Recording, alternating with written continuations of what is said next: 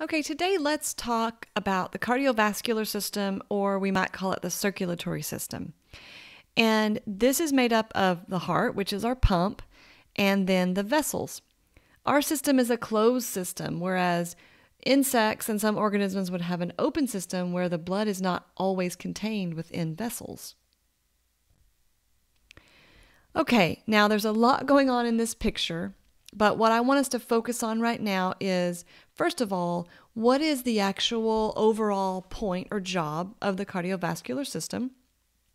And I want you to recall that in the respiratory system lecture, what we learned about was the job of the respiratory system is really gas exchange, right? To take in a fresh supply of oxygen to and to get rid of the waste product carbon dioxide. And the reason for this is because cells and tissues are always going to need a fresh supply of oxygen and they all are continually making a waste of carbon dioxide. So if the lungs then, if their job is to exchange the gases, well, the cardiovascular system's job is to transport those between the lungs and all the cells and tissues of the body. So, what are they transporting? Well, we already talked about oxygen and we already talked about carbon dioxide. Those are the gases, but they're doing more than that. Um, when we eat food, right, and it's digested, the, the nutrient particles need to also get to all the cells, and therefore the blood can carry those nutrients. The blood can carry other wastes besides just carbon dioxide waste. And as we'll learn in another lecture, hormones are actually circulated through the body in the blood system. And finally, we have immune cells to help prevent disease and fight disease, and those can circulate also through our blood.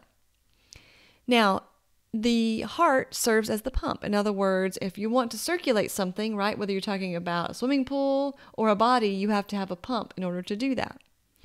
And then we have vessels. So, again, ours is a closed circulatory system, so the blood is going to stay within these vessels. And we have three types of vessels arteries. So, if we think about arteries starts with A, those are the vessels that carry blood away from the heart. Veins are going to do the opposite. Veins are going to return blood back to the heart.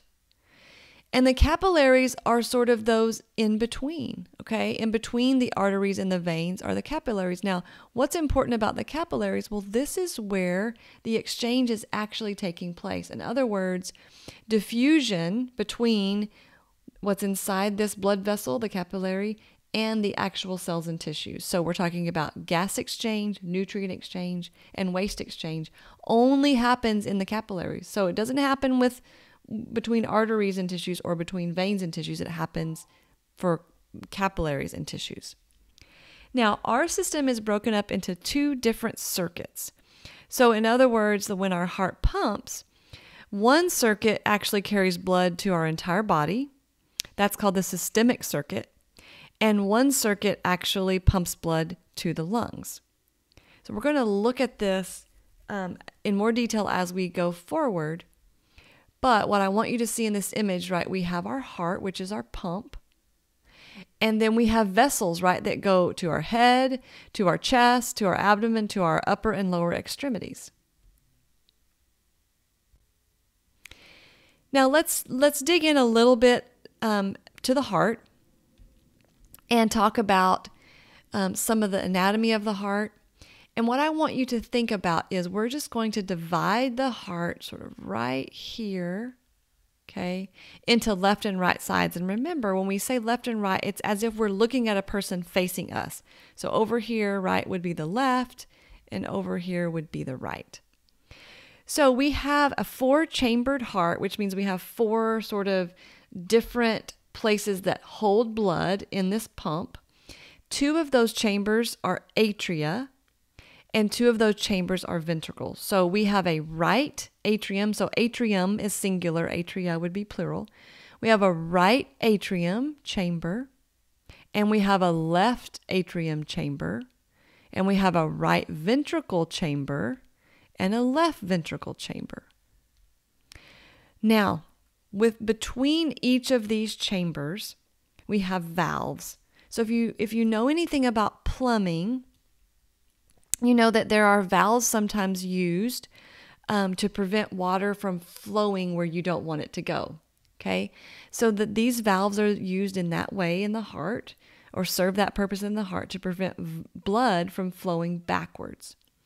So remember, the heart is a pump, and the heart is made of specific types of muscle cells, right? Cardiac muscle cells.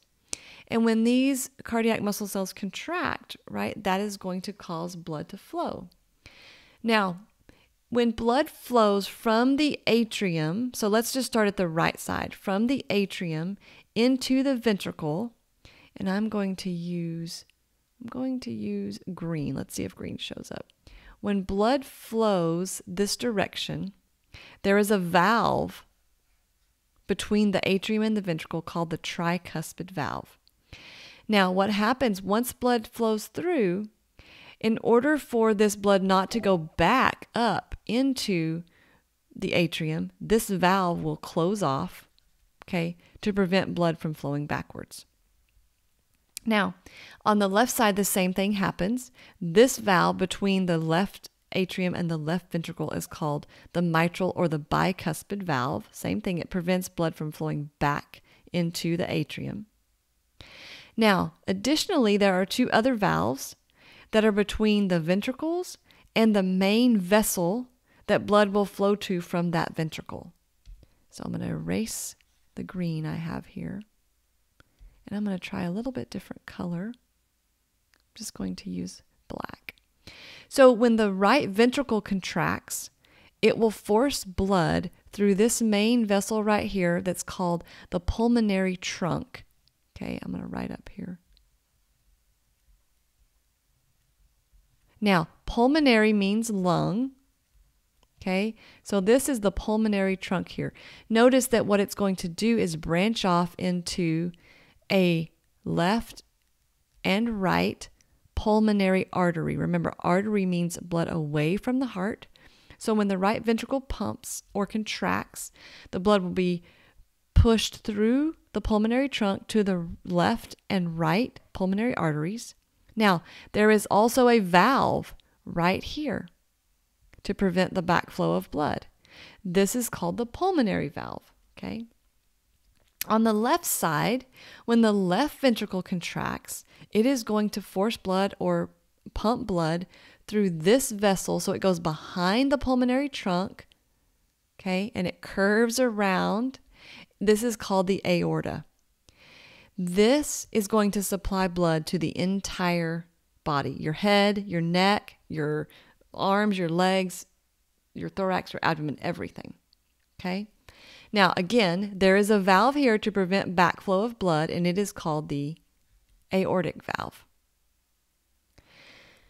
Now, what I want us to think about is we're going to walk through the flow of blood, but what I want you to recognize is when the heart contracts, both of the atria are going to contract at the same time, and both of the ventricles are going to tra- contract at the same time.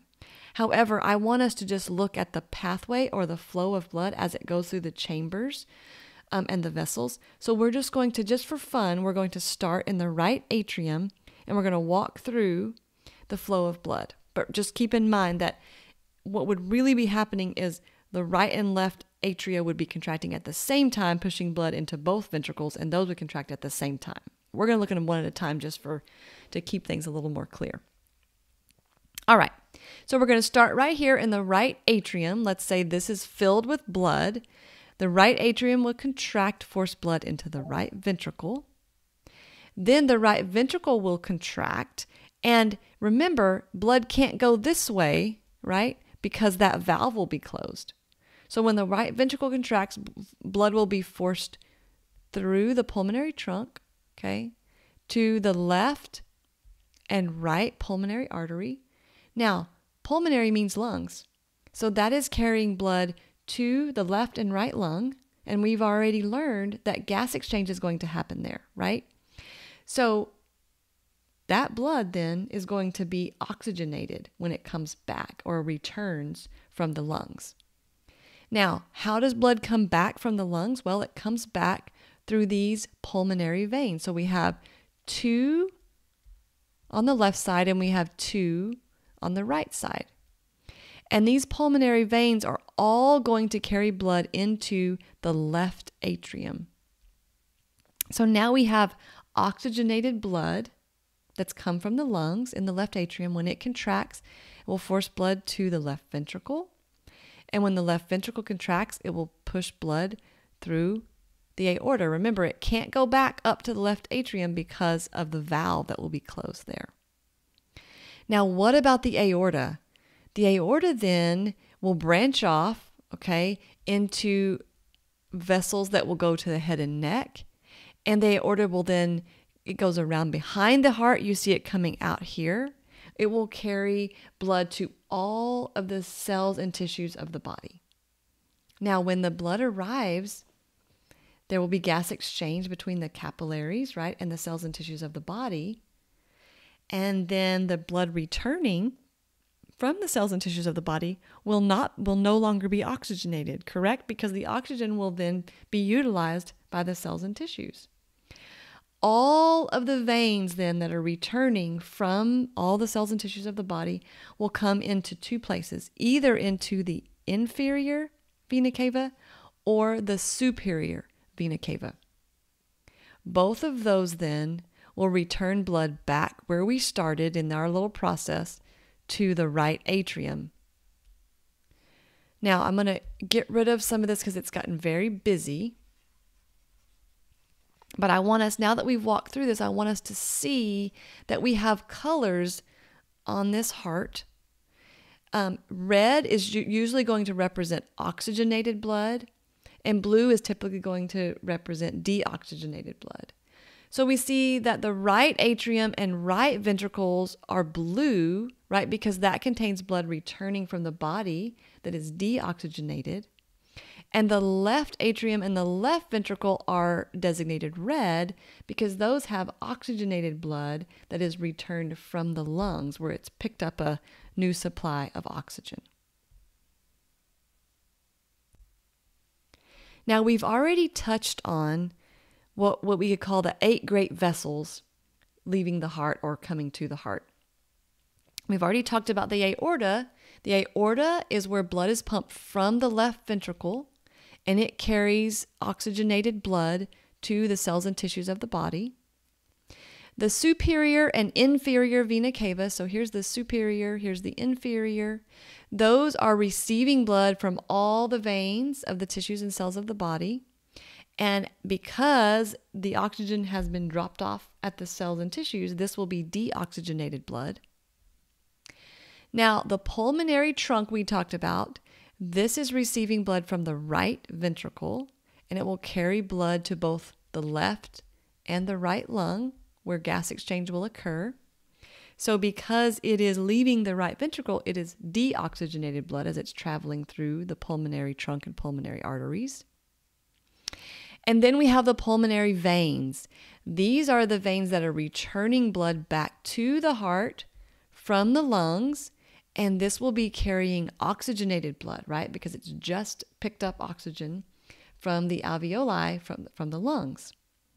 Now, most arteries we think of as being oxygen rich that are carrying blood away from the heart. However, um, the pulmonary trunk and pulmonary arteries are not oxygen rich, right? Because they're going to the lungs to pick up oxygen. The same thing with the pulmonary veins. Those are oxygen rich veins, even though the majority of veins in the body returning to the heart are oxygen deficient.